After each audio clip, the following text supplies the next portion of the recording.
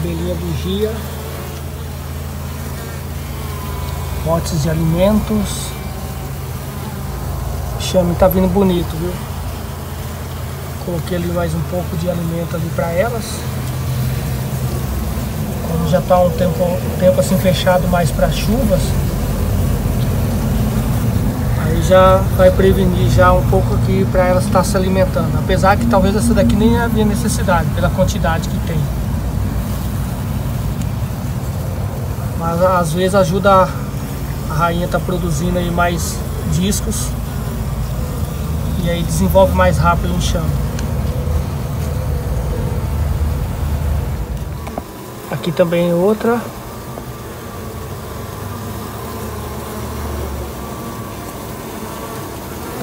Os discos ali em cima. Alguns potes ali na lateral.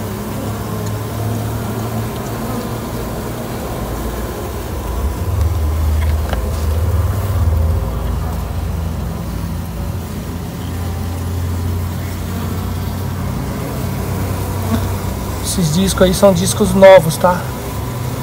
Ainda vai levar um tempo ainda para eclodirem. Olha que interessante aqui, ó. A gente comentando aquela hora da abelha mirim mosquitim. Ó, aqui, ó.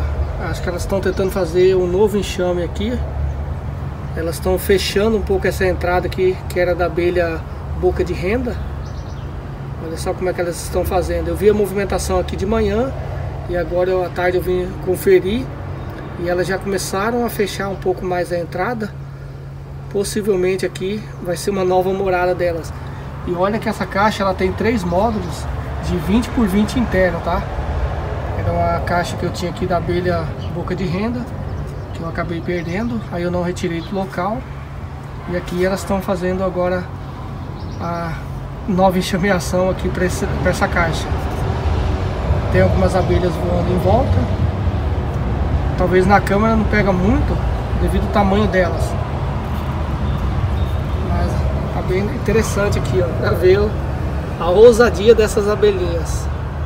O tamanhozinho que elas são e ocupando aqui essa caixa nesse tamanho. Não vou mexer agora nessa caixa aqui, vou deixar elas dar uma estabilizada para depois, futuramente eu vejo como que está a parte interna.